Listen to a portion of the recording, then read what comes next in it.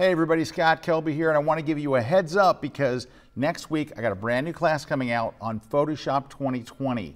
Now look, there's a ton of new features in there, and you're thinking, I don't remember there being that many features. So here's the thing, there's the big features that you've heard about, but then there's a ton of little features that kind of slid under the radar. But when you see them, you're going to be like, I can't believe those are really good. But I wanted to do more than just Photoshop 2020 because if you look back over the last year, the last 14 months, Adobe's put out a lot of stuff.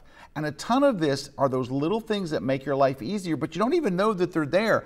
I didn't even know they were there. When I started really digging into this, there's so many things that flew under the radar. So I put it all in one big old class. Some of the tips are awesome and amazing. Some of the tips are really, really short. Some of the tips are 30 seconds. But look, I did it appropriate to how cool the feature is. But you're going to learn so many different things, and it's coming out next week. I'll let you know about it here, so keep an eye out. I'll tell you when it launches, but I hope you check it out next week. All the stuff in Photoshop 2020 and 2019 and everything in between right here at KelbyOne.